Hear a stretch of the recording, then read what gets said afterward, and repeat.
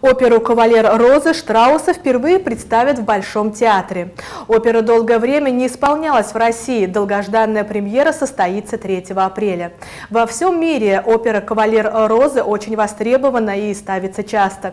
Впервые премьера «Кавалера Розы» состоялась 26 января 1911 года в Дрездене.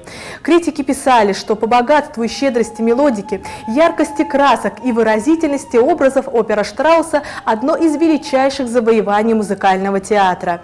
Первая постановка оперы на советской сцене состоялась в Ленинграде в 1928 году. В Москве любители оперного искусства смогли услышать это произведение Штрауса в 1971 году на сцене Большого театра во время гастроли Венской оперы. С тех пор в России опера не исполнялась.